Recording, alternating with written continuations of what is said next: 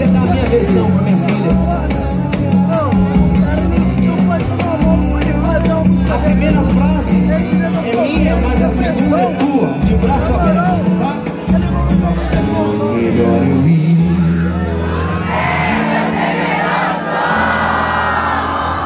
Se deve dizer assim, é que pensando bem, nunca existiu nós.